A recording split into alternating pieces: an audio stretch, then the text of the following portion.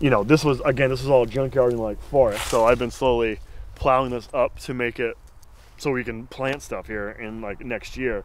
And so this is what you find. You find old car parts and old toys, you know, as we're as we're working the soil. Yeah. My name is Brad Fesmire.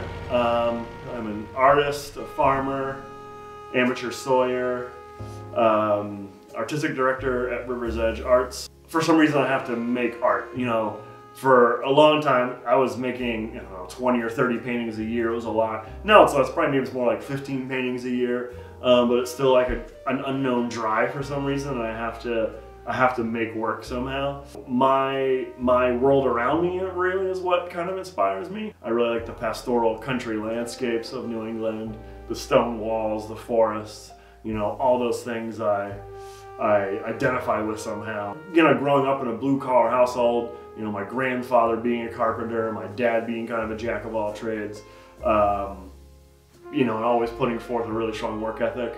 Um, those things have really informed my work. So I think for, you know, my grandfather, you know, working with his hand, my dad working with his hands, you know, I wanted to work with my hands somehow, and this is kind of how I manifest that as well. As I get older, my interests have really kind of widened. Like when I was in my 20s, I was very focused on art and like, so I went to work. I worked at Riverzedge in my 20, in my late 20s.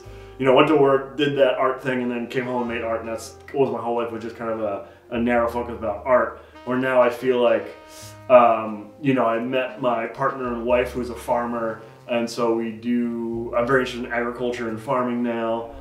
Down the farm, and we're going to be working on this area where the trees are, taking those down, turning that into cultivatable land.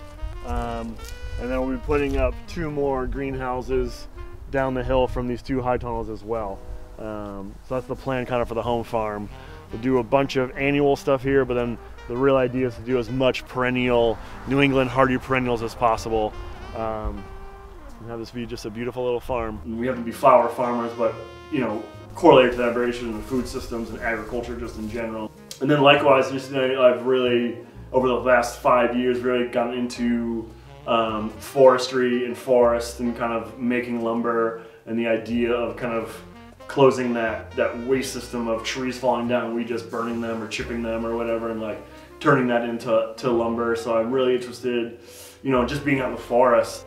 Um, you know, my thinking as an artist, my working as an artist, then informs all the work that we get to do, uh, you know, as a team at Riverzedge and how I come to think about it.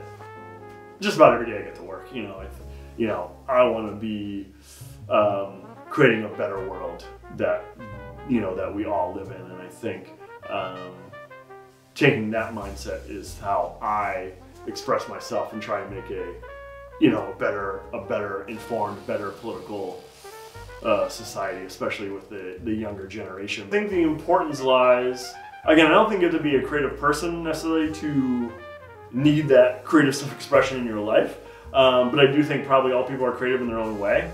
Um, so I think the importance of like cultivating that is giving people the right outlets uh, in order to either like recenter themselves um, express themselves in, in healthy in healthy ways that you know help them be you know better people for themselves, for their friends, for their families, and or for greater society. Um, uh, what was the question again? so you know, I think the more we foster that, the more we foster that, especially in young people. Um, that's why I love Riverzedge so much and why I like the work that we do. If we can foster that creativity and give them, you know, the skills and the outlet in order to do that, they become much better citizens of the world. You know, you know, my biggest goal is not for the kids we work with to be better artists, it's for to be better people.